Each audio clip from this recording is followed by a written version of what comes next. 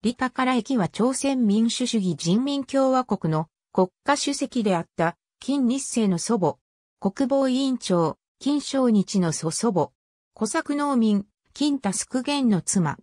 朝鮮平安南道平壌出身の農民。北朝鮮では、抗日の意志を持った愛国者の農民として宣伝されているが、実像とは異なる。1876年5月31日、平安南道平壌に生まれる。小作農民の金タスク元と結婚して、長男金通るきび、次男金通る六、三男、金通る剣、長女金九日女、次女金通る実、三女、金京福の三男三女を生む。貧乏な上に多産であったため、生活には大変苦労したという。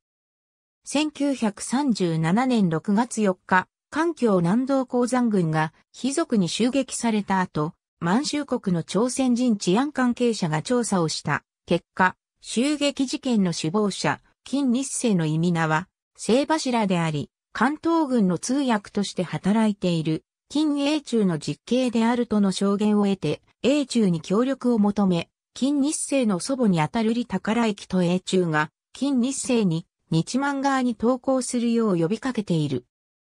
このことによっても、李宝駅自身に政治的思想や抗日的意志は希薄であった事実がわかるが、後に北朝鮮はそのことを否定し、金日成将軍が抗日闘争をしていた時、日程侵略者たちは金日成を基準させるために、祖母を王緑湖沿岸と中国の東北一帯の険しい山々のある白頭山付近に連行して投降を呼びかけさせたが、李宝駅は節操を失うことなく、関東軍の将校らを叱り飛ばして抵抗したと主張している。